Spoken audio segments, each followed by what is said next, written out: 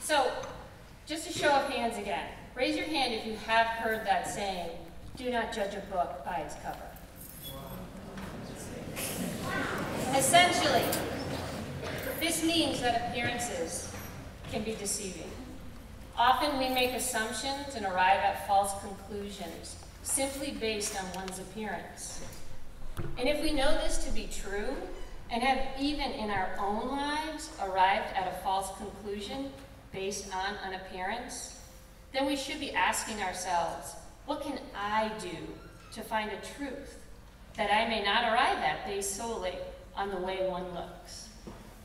As I stand here before you, all of you see a white female in her late 40s of medium build and medium height.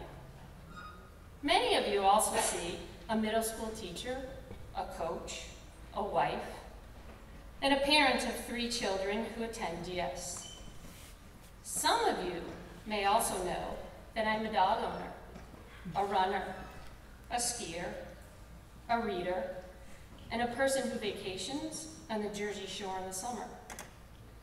Very few of you know that I was born in Detroit, Michigan, raised by a single mom, that I never owned a Barbie doll in my life, and that I did not know my father. Just from looking at my appearance, you would never know many of these stories about me. You would see that white female, teacher in her late 40s, and perhaps make some assumptions about me and then move on. Looking at me, you only get a part of the picture, and often this part is small and relatively unimportant when compared to the larger whole. What I believe in has little to do with our appearance. Your weight, your height, your hair color, they are not important to me.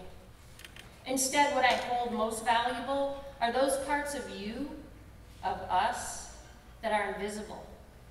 The ones that we at times intentionally hide from others, or the ones that we have yet to share simply because we have not been asked to share them.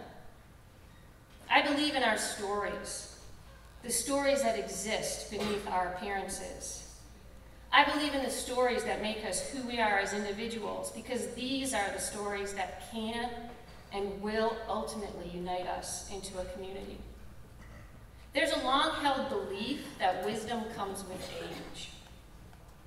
As I stand here on the edge of turning gulp 50, I happen to believe this more and more.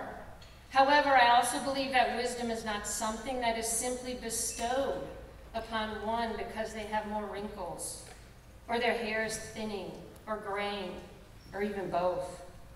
No, wisdom can be attained at earlier ages too. In fact, you all sitting here have the power and potential to be wise. I believe that wisdom comes when we stop to take the time to ask questions of each other. And just as importantly, wisdom comes when we listen to the answers. It comes when we take an interest in one another and attempt to see and understand what lies beneath our appearances.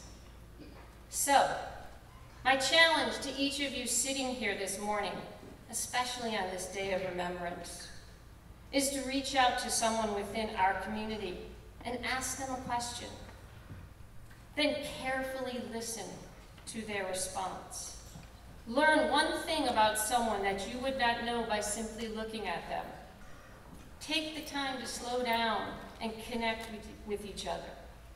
Don't make assumptions about the person you pass in the hall based on her hairstyle or his clothing choice or skin color. Instead, dig deeper. Get to the essence. Seek the stories that make us who we are the reality, not the appearance. And in doing so, you will make connections you never knew existed and become wiser than your, year, than your years. Thank you.